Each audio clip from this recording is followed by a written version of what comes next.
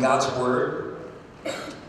When Jesus uh, does something incredible, and I think people are changed in keeping with our theme. Um, but before we get into that tonight, I want to ask you a, a very straightforward question about your life. I don't know if you've ever really thought about this before. Maybe you have, especially as you get a little bit older. You get into high school, you think about where your life is headed, what your future looks like, what your career might look like.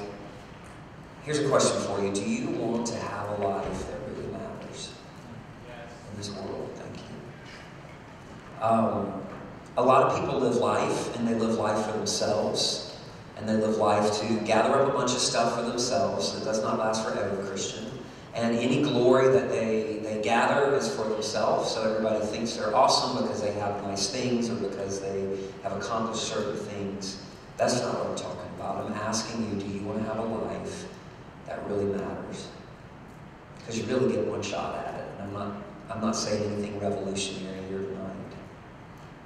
Tonight we're going to focus on three guys whose lives made a tremendous difference in the spreading of the gospel, um, in establishing the church, in getting the message out. All three of these guys gave their lives up for Christ. So I would say their lives made a difference. Um, tonight we're going to take a look at something that happened with them one day. And I'll tell you this when I teach this story, a lot of people say, I've never heard that story before. It's actually in Matthew and Mark and Luke, it's in three of the Gospels. I don't think people avoid it. I guess it's just one that we don't go to as much as some of the other ones. Uh, but it's tremendous and I love it. If you have your Bible, you can turn to Mark chapter 9. Again, this is in Matthew and Mark and Luke. All three of them record this, and they record it pretty similarly. Um, there are a few tiny little differences, but basically, all three authors tell this about the same way. So we're going to look at Mark's account in Mark chapter 9. And this, this event, what we're about to read about, is called the Transfiguration. And a lot of people don't know the word transfiguration and they don't know the story of the transfiguration. But tonight I want to tell you, I think the transfiguration made a huge difference in the lives of three guys named Peter, James, and John. Three of the disciples, three of the twelve. And I want to tell you a couple of things about Peter, James, and John, first of all. I want you to listen to this really closely. Jesus kind of had an inner circle. Be careful there, Griffin, because I'm not saying Jesus had favorites. Because if Jesus had favorites, you're like, I don't like Jesus having favorites. Just like I don't like the teacher having favorite or the parent having favorite. But Jesus did have an inner circle. Jesus does seem to have three of the disciples that he pulls a little bit closer to him. He keeps these guys a little bit closer to him. He allows these guys to see some things that he doesn't allow everybody else to see. He seems to pour into these guys a little bit more, and it's actually a really effective leadership style to focus in on a few, Keith.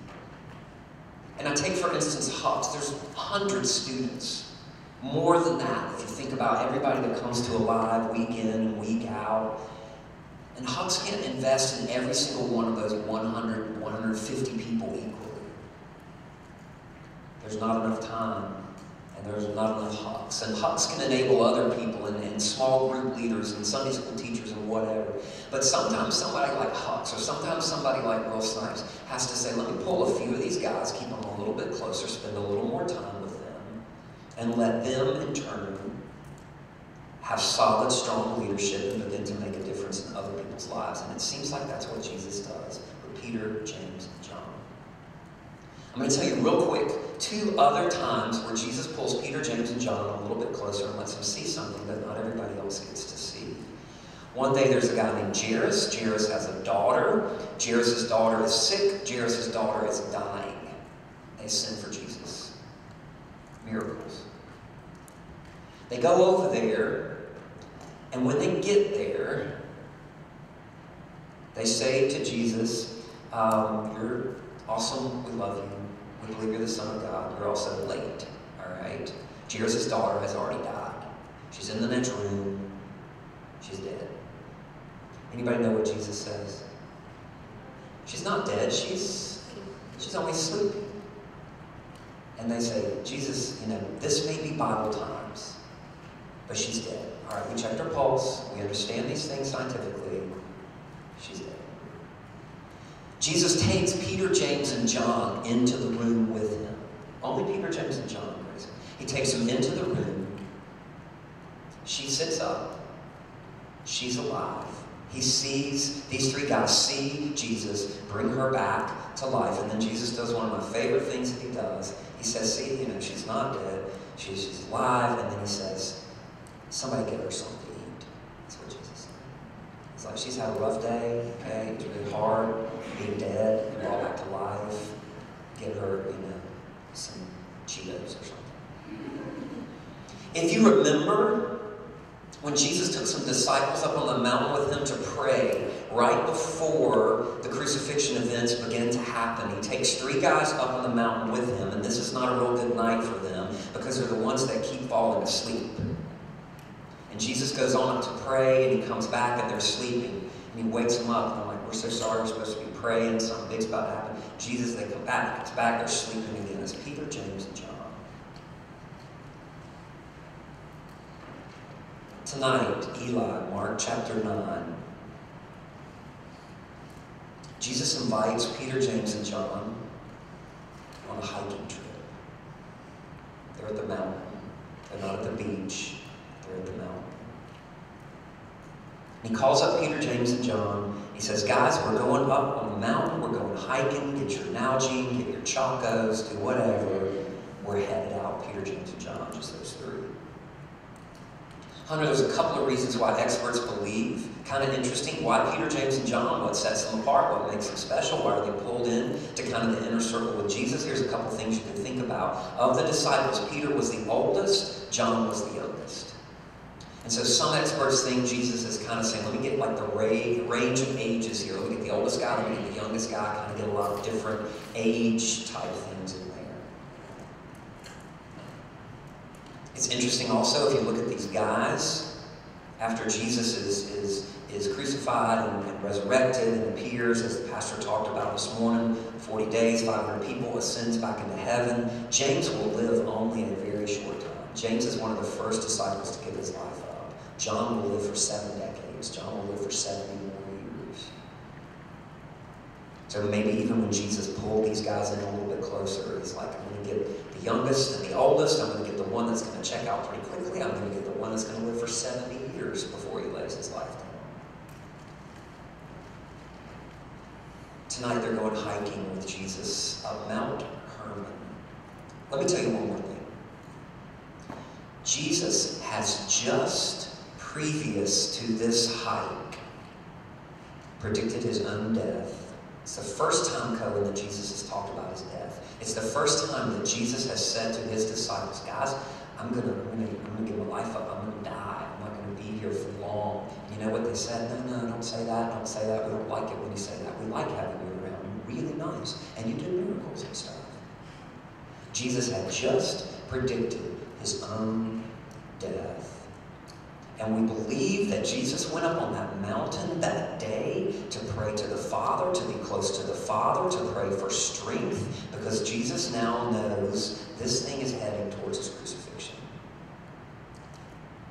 But can then he takes Peter, James, and John with him. Let's read. Uh, one more thing. Anybody know what transfiguration means? Hayes? Transfiguration. Good. Thank you. Transfiguration. Transfiguration is to completely change appearance. All right? So if something is transfigured right in front of your eyes, it changes appearance completely. And that's what Jesus is going to do up on Mount Hermon. And in Mark chapter 9, verse 2. Six days later, Jesus took Peter, James, and John and led them up a high mountain to be alone. As the men watched, Jesus' appearance was transformed, and his clothes became dazzling white, far whiter than any earthly bleach could ever make them.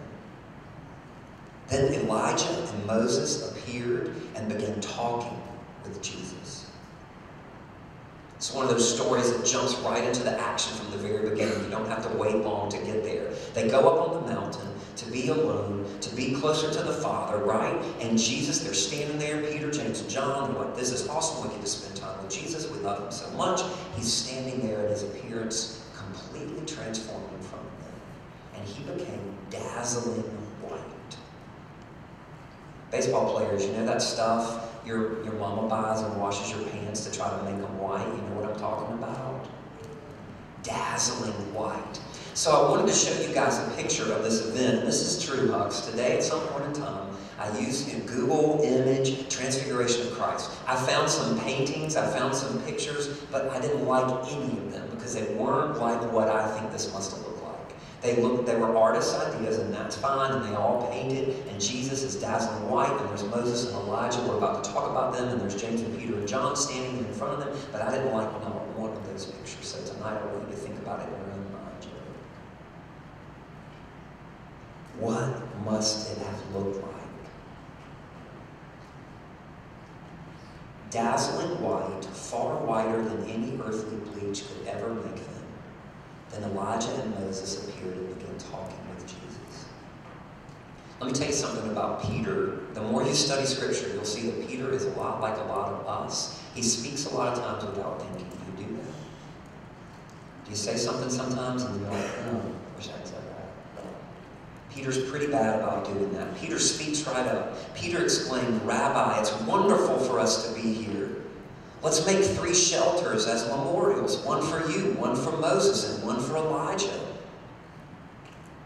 He said this because he didn't really know what else to say, for they were all terrified.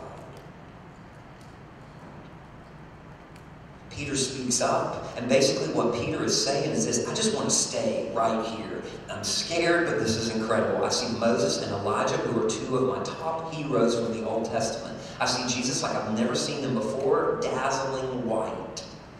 Let's build some shelters. Let's build some booths. Let's stay up here. I'm saying all this because I don't really know what else to say because I'm terrified.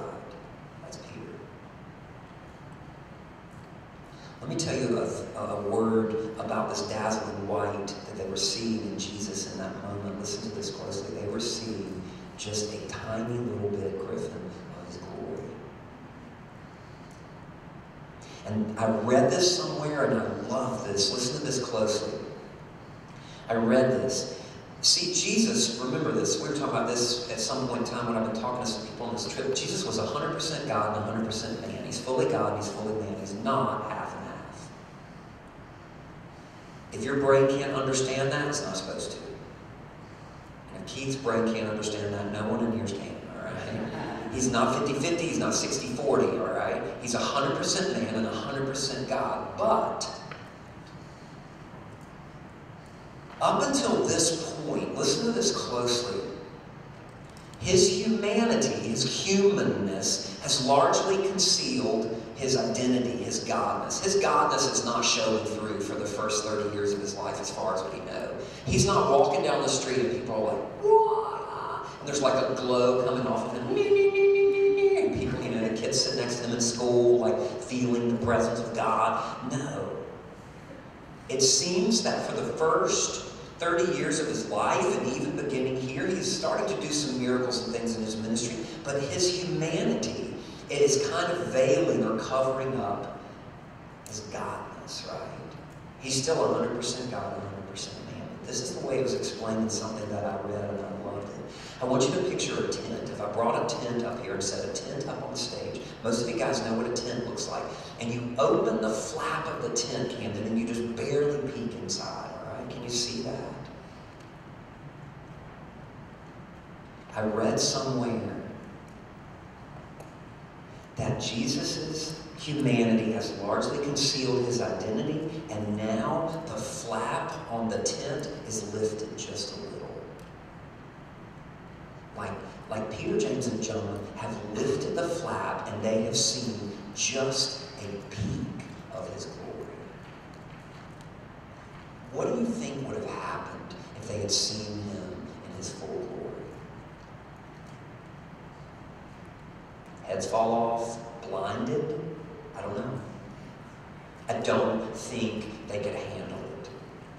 Jesus shows them is about this much of his glory. He becomes dazzling white. His appearance changes right in front of them, whiter than anything they've ever seen on this earth. There's light around him, I believe. Moses and Elijah, we still got to talk about them. They are seeing like this much of his glory. Three lucky guys.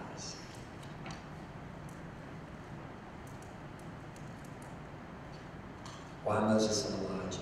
You're going to love this. Moses and Elijah to the Jewish people in this time in the New Testament, the, to the Jewish people, Moses and Elijah are the two, they're the two favorites. They love Moses and Elijah. They are crazy about Moses and Elijah. Moses represents, and you may see this up on the screen, Moses represents the law. Anybody know why Moses represents the law? Because he did what? He brought those Ten Commandments down back. So anytime that you see Moses, especially when Moses is mentioned in the New Testament, Moses always represents the law.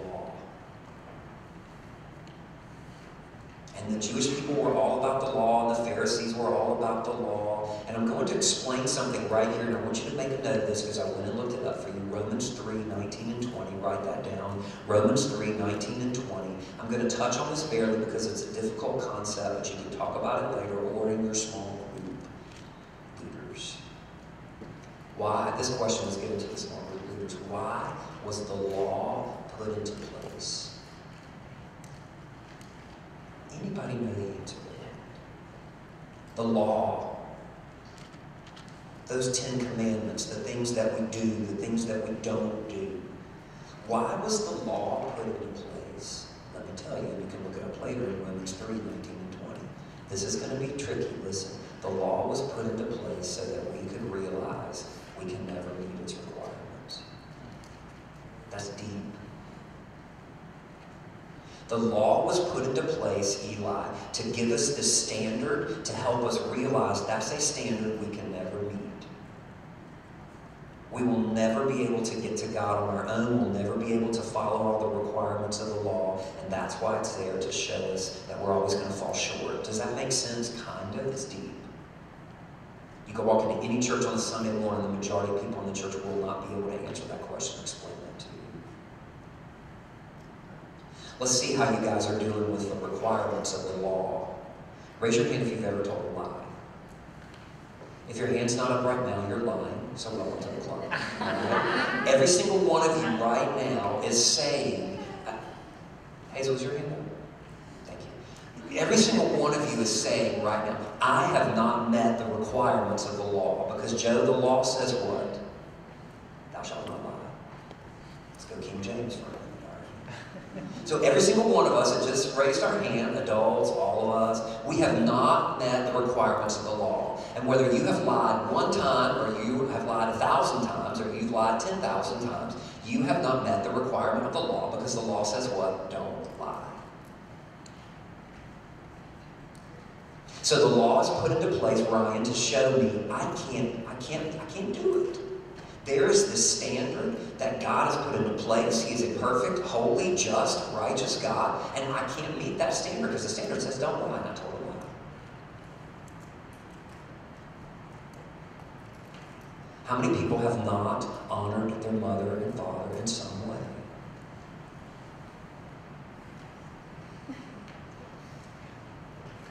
Delayed reaction, but we got there. You don't meet the requirements of the law. I don't meet the requirements of the law. That's why the law is there. Moses represents the law. You ready for this? Are you ready for this? What did Jesus do with the law? You may not know the word I'm going for here. I didn't phrase my question very well. Not one of us in here could ever fulfill the requirements of the law. We could never meet the requirements of the law. What did Jesus do with the requirements of the law? He fulfilled every one of them. He met every one of them. Get it? Don't lie. Jesus like, check. Honor your mother and father. He's like, Mary and Joseph. But, Don't kill. Jesus like, are you kidding me? Check. Don't steal. Never even thought about it. Boom. Adultery. Mm, don't even know what that means. Check. so Jesus like, yes, adultery is bad. All right, so Jesus meets the requirements. He meets, he fulfills the requirements of the law. When you see Moses and you see those Old Testament, the man, the Jewish people, they love Moses. I got to tell you this. They come to Jesus Y'all remember when Moses was leading the people and the manna came down? Y'all remember that? The manna, the bread came down from heaven, right? John chapter 6, go read it for yourself. They're talking, Jesus just fed the 5,000, so the topic of the day is bread, right? And, and, and the people say to Jesus, Camden, I can't believe they said this to Jesus. They say, why don't you do something cool like Moses, huh? Why aren't you awesome like Moses? We love Moses so much. Why don't you do something like bring down bread from heaven? Because that's what Moses did. You know what Jesus says? Moses didn't bring down bread from heaven. My Father did. Yeah, but you. Jesus says, I love Moses. I'm a huge fan of Moses. I'm all about Moses. I was, I've been with Moses. I'm boys with Moses. We're tight. This is what Jesus says. Listen, I am a new and better Moses. because Moses brought the law down. I fulfilled the law. Moses showed us that standard that we can never meet. Met. Isn't that awesome? Don't you love studying God's Word? Let's talk about Elijah. Anytime that you see Elijah, Elijah represents the prophets. Thank you. Perfect time. Elijah represents the prophets. Why Moses and Elijah? Why that day when Jesus transfigures and shows his glory to Peter, James, and John, he's flanked on the sides, Moses and Elijah. Moses representing the law, Elijah representing the prophets. What did the prophets do? The prophets brought a message, delivered a message from God. That's what prophets did, Savannah. God gave a message and the prophets voiced it, right? The prophets talked all the time about the coming Messiah. The prophets were always talking about the one who is to come. They were always giving prophecies. Prophets give prophecies. They were always saying, this is where the Messiah is going to be born. He's going to be born in a place called Bethlehem. He's going to be born of a virgin. I know that doesn't make any sense, but it's going to happen. They made all these prophecies, right? They delivered all these messages from God. The other thing that the prophets did, they did it all the time. They said, Prepare. Get ready. He's coming. Clean up your act. Repent. Turn from your sin. Get your life together. Stop worshiping idols. Stop running away from God because the Savior, the Messiah, the long expected one is coming. That's what prophets do. That's what Elijah did. Jesus shows up, you know what he says? I am the fulfillment of everything those prophets were talking about. You get it, don't you? Everything the prophets prophesied, all the prophecies they made, all the times they kept telling God's people, turn from your wicked ways. I'm here. And so the, the, the, Jewish people loved Moses, and they loved Elijah, and they loved the law, and they loved the prophets. And Jesus shows up and says, I'm the fulfillment of all of that. I'm a new and better Moses. I'm a new and better Elijah. Love it. I'll tell you one more thing. I'll be finished with Moses and Elijah for a minute, then I'll be back on them because I love them so much. I'll tell you one more thing about Moses and Elijah. A lot of experts on the Bible believe that Moses and Elijah are there, and Moses and Elijah are, are right there by Jesus because Moses and Elijah both had incredible exits from this earth. Start with Elijah, because you're more likely to know this. How did Elijah exit from this earth? Chariot fire. Kind of cool, huh? The thing is burning, but it's not consumed. Swoops down, picks him up, he's out. One of my favorite things to tell people, because it is in Scripture and most people don't know it. How did Moses leave this world? Amen. Moses dies of old age. God buries Moses himself in a place that nobody knows where it is. Pretty sweet. God's like, hey, no need to call Woods Mortuary, all right? I'm taking care of my boy myself. He takes Moses somewhere and buries Moses. And to this day, we do not know where Moses is Go in and, and, and visit the ceremonial. We mark it with a stone. It was Bible times, but we can't do that for Moses because nobody knows where Moses is buried but God himself. That's a cool exit out of this world. And here's what some people think about Moses and Elijah and Jesus. Jesus is like, Moses, you got a cool exit out of this world, buried by the Father. Elijah, chariot of fire. Jesus says, let me tell you about my exit out of this world. I'm going to die on the cross, buried in a rich man's grave, raised from the dead, appear to over 500 people 40 days. And I'm going to ascend up into heaven. You're going to watch the bottom of my feet as I go back up into heaven. That's how I'm exiting out of this world. Moses and Elijah. Verse 7. Get back to the story. James and Peter and John seeing the glimpse of Jesus' glory.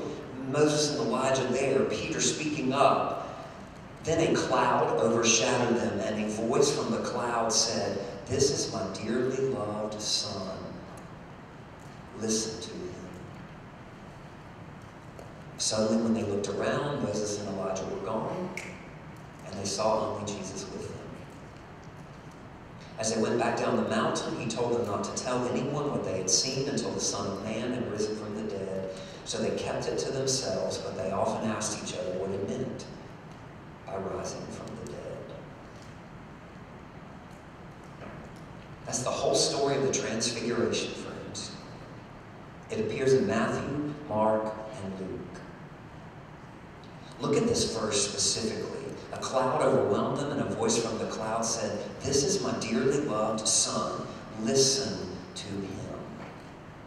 God speaks in that moment. God speaks to, to Peter and James and John, they're right there, and he says, This is my son. I want you to listen to him. What he says, you listen to. And one of the questions you're going to be asked tonight is this What are some of the things that Jesus specifically tells us to do? Let me just throw a few your way. Jesus says you must be born again. You must be born twice. Once of the water once of the Spirit. Once of the water is when you were born naturally to your mother. Once of the Spirit is when the Spirit of God comes over you and you were born again a second time. God says, hey, when Jesus says something, listen to him. You must be born again. Jesus says more things than some of my guys know. We studied some of these things. We studied some of the things that Jesus tells us we must do. Jesus says, fear him who can condemn both body and soul to hell. Don't fear someone that can kill you. If somebody walks in here with a gun right now, I'm going to say, I don't fear you. Okay, a little bit. I don't fear you because all you can do is something to my body. But I fear the one who can condemn both body and soul to hell. That's what Jesus said. Listen to him. Jesus says a lot of times, be careful with your money. Be careful what you do with your money. Be careful how important your money becomes to you. Listen to him. Jesus says, Go and make disciples of all the nations, baptizing them in the name of the Father, the Son, and the Holy Spirit, teaching them everything that I've told you, and inviting them to come to worship at the beach on Thursday night at 7.15. Listen to him. God speaks down this day and says, This is my dearly loved Son. Listen to him. Look at this next statement. The law and the prophets that we talked about so much, those things must give way to Jesus. We learn from the prophets. We learn from the things that they said, but we listen to Jesus. That's good, isn't it? The Old Testament is huge, and the more you study Scripture, the more you learn this, friends. The Old Testament is always pointing us towards Jesus. It's always pointing us towards the New Testament. It's always pointing us towards God's plan for saving His people and redeeming His people. And so the Old Testament law that we were so huge on, and the prophets that we were so huge on, those give way to Jesus. We can learn from them, but we listen to Jesus. And let me toss this out there for you, and one person will take it and run with it. Somebody told me this one time, and I have not forgotten, and I don't always live by it, and I need to. They said, You should read from the Gospels every single day Matthew, Mark, Luke, or John. Why? Because that's when Jesus was actually here on earth. And that's when you can actually listen to what he said when he was here on earth. They said, you read your Bible, you do your devotion, you do your book, you read your proverb, you read from the Old Testament, but you should read, I should read from one of the four Gospels every single day. Matthew, Mark. So I can listen to what Jesus said. That's good, isn't it? I got to tell you one more thing. And I love this, and you're going to love this. And this is, this is just interesting stuff that you need to know. and Then we'll start to kind of move towards wrapping things up. You're not going to believe where I'm about to go to Revelation chapter 11. Why Revelation? Dragons? What? Revelation chapter 11.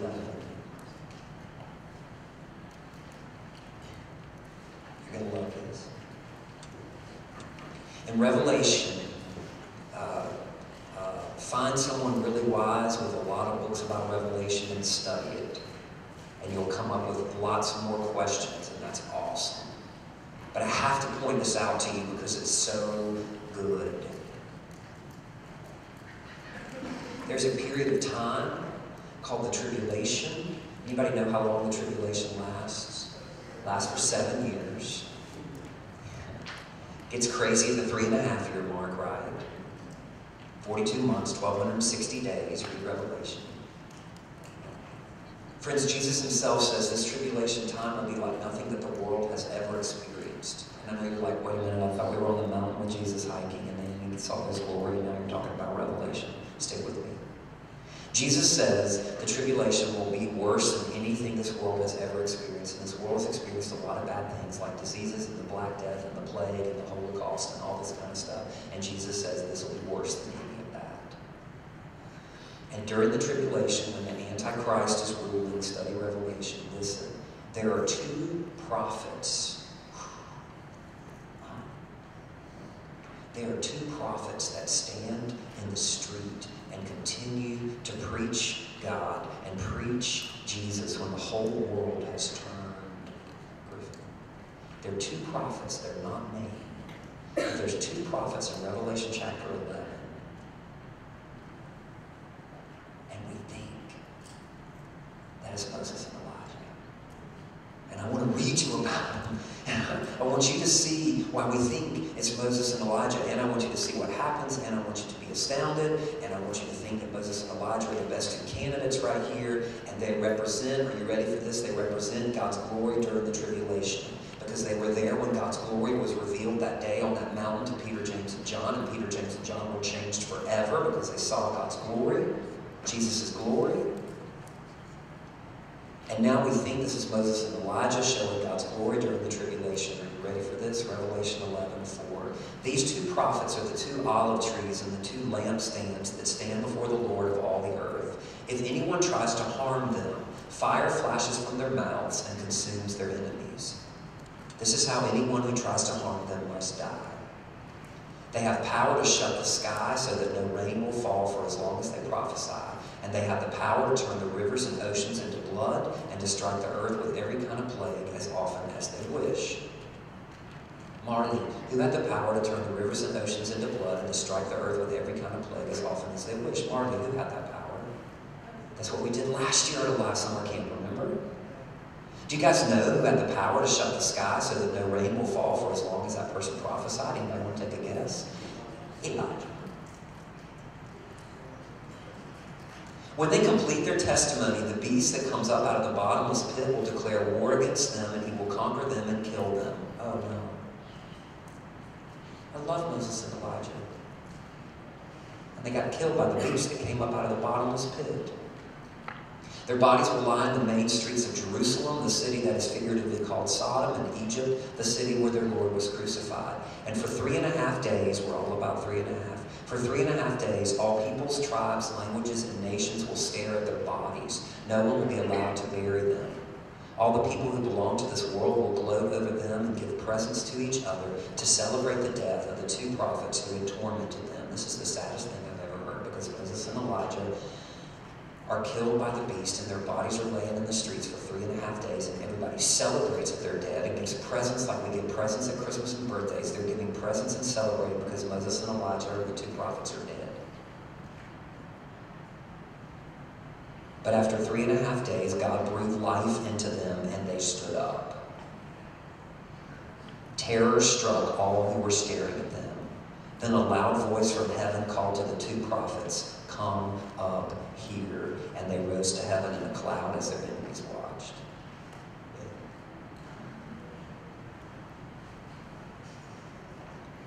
We will see the glory of God during the tribulation. And there are two prophets who will rise up after three and a half days of death and be personally invited into heaven by God, who will say, Come up here. And We will see God's glory during the tribulation. Like it. Let me finish up. I started out tonight talking about three guys whose really lives made a difference for the kingdom of God. We focused on Peter, James, and John. And I want to tell you tonight that I think the day that they saw a glimpse of Jesus' glory on the mountain really stuck with those guys. Don't you think it would stick with you? If you were hiking with Jesus at the top of Mount Hermon and you saw him transfigured and glowing, dazzling white, and Moses and Elijah in the sky, and the voice of God saying, This is my son, listen to him. And then Moses and Elijah disappeared, and Jesus said, Let's go back down the mountain and not really tell anybody about this. And we go, mm-hmm. But I'll never forget it. Do you know how we know that they never forgot it? This is so cool. Because I wrote about it. The only one who didn't get to write about it, listen to me, the only one who didn't get to write about it was James, because I told you James was martyred very early. James doesn't live very long, right? And so I think that James was like, I gotta write down what happened on that mountain that day, but he never got to because he was martyred. But John got to write it down. Look on the screen at John 1.14. Some of you have read John 1.14 before, but now it makes sense. Look, John wrote this, so the Word became human and made his home among us. He was full of unfailing love and faithfulness, and we have seen his glory. The glory of the Father's one and only Son. John wrote that down.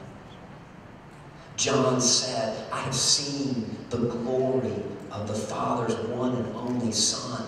I saw it that day on the mountain. I hung out with him all the time. I saw him do incredible miracles. I know how kind and gracious and loving and forgiving he was, but listen, I saw his glory.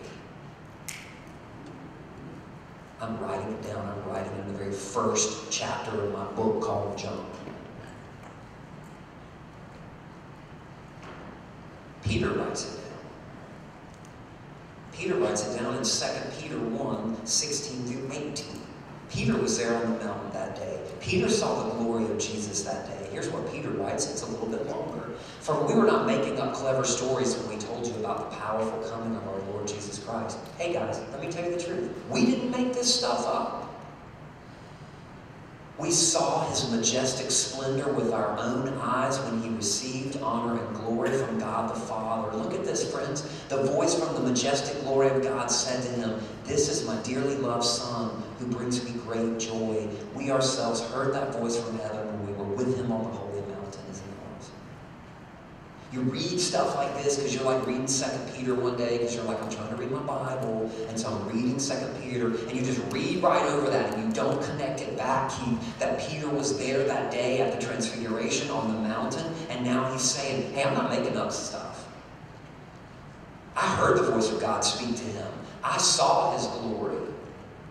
I saw honor and glory from God the Father. I peeked inside the tent. I saw him dazzling John wrote about it, Peter wrote about it, James never got to write about it because he was martyred very early. But here's the thing I want you to think about Peter and James and John would do great things for the kingdom. They would lay down their lives for the kingdom. Why? Because they had seen the glory of God. It wasn't just because they're like all stars. It's not just because they're like the most incredible guys and they're just like, we're going to make a difference in this world. These guys saw the glory of God. They got a glimpse of the glory of God, and I believe it changed them. They were already following Jesus. They had already laid down everything to follow him and to be his disciples and to listen to him teach and to try to pattern their lives after him. But they were still guys that struggled a lot. But I think on this day, when they saw his glory, I think after that, they were never the same. And remember, all three of these guys will give their lives up for the kingdom of God. They'll lay their life down back. Did you know God's calling you to lay your life down? Max, like, I don't want to die. Got to get through seventh grade first. I got some fishing to do. I got some Fortnite. God's calling you to lay your life down, which means to give up what you want all the time, to give up being selfish, to give up having your own agenda, to give up thinking about yourself all the time, and do those things that bring Him glory and bring Him honor and make His name known. That's what it means to lay your life down. Take up your cross and follow Him, right? These three guys did this, and let me make my most important point Listen maybe more closely than you've listened at any point in time. Listen so closely. I was sharing the story of the Transfiguration. Hucks, this is kind of like one of those moments, like last night when I thought I should have told all the girls to pin their hair up right. I was making a point. I was teaching the Transfiguration sometime in the spring, and I was making this point, and then, then I, here's what happened. I was saying to a group of people, I wish that's what I was saying. I wish that I could see the glory of God like Peter, James, and John did that day. Because then maybe I'd be willing to lay my life down like they were. But I wasn't there that day.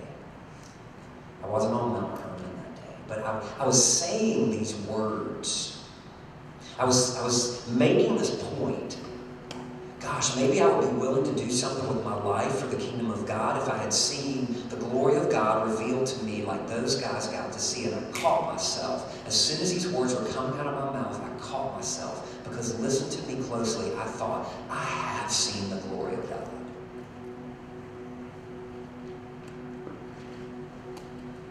I have seen the glory of God. I've seen the glory of God a lot. I, have seen the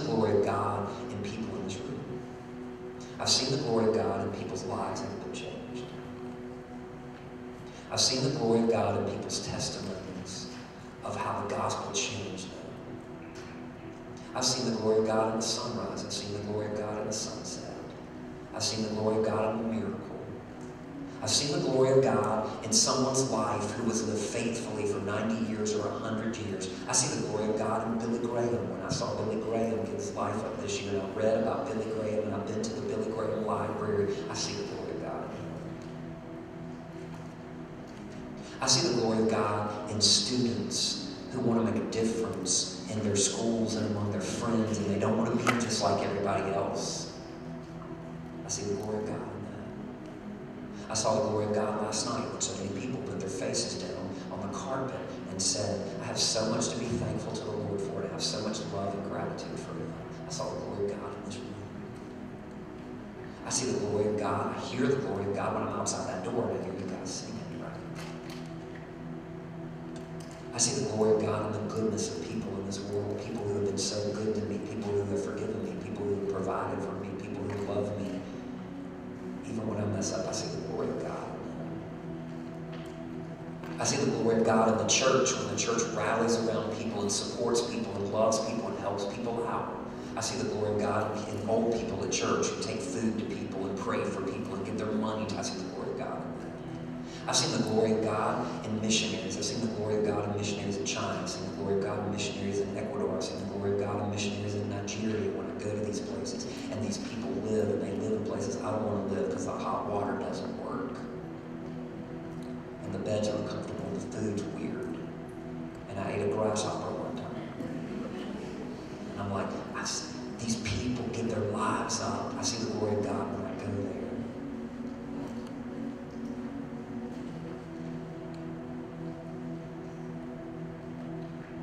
and I was standing on a stage somewhere with a microphone like this in my hand, and I was making this point that was not a point at all. I was making this point, gosh, I wish I could see the glory of God like Peter and James and John saw the glory of God because they saw Jesus dazzling white and they got a glimpse of his glory. I wish I could see that, and then I would do something with my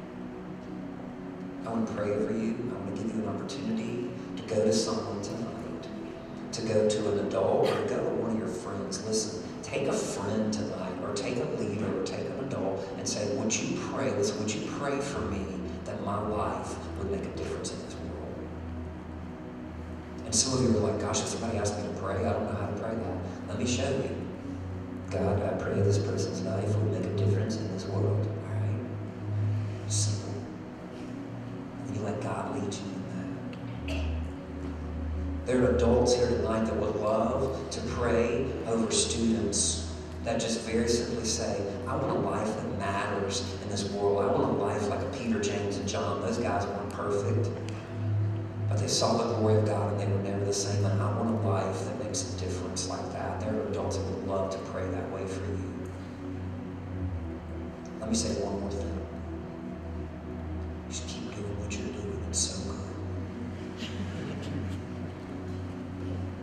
There's this mindset out there, and it's one of my least, listen closely, it's one of my least favorite things in this world. There's this mindset out there that God created the teenage years for you to do whatever you want to.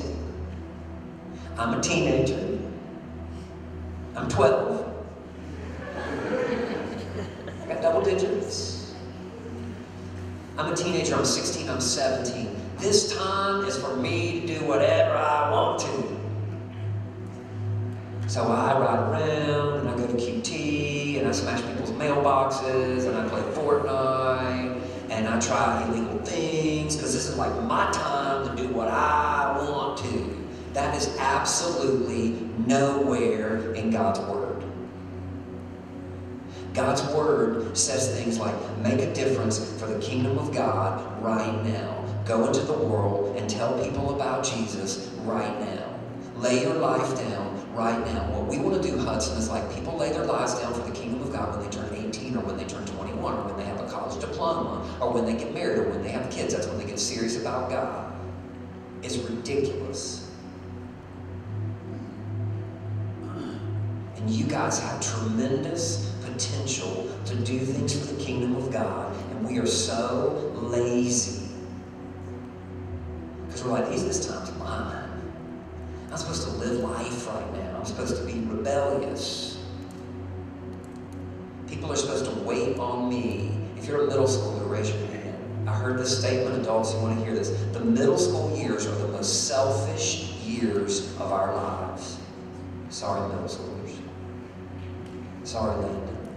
Middle school can be the most selfish years of your life because you're just, it's all about me. And that's not what Jesus teaches. We're supposed to listen to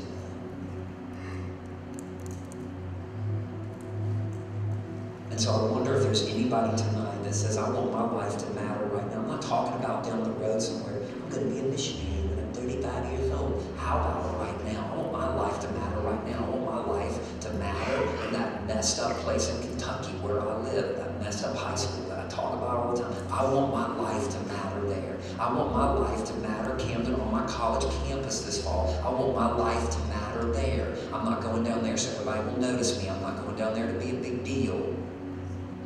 I'm going down there so that I can make a difference for the kingdom of God on that campus. And if that's not where I'm going there, I don't need to go.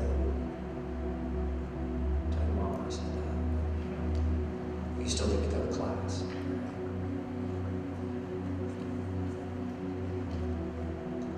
Let me pray tonight for students, for teenagers who want their lives to matter and who want to look around and see the glory of God in this world and let that change them.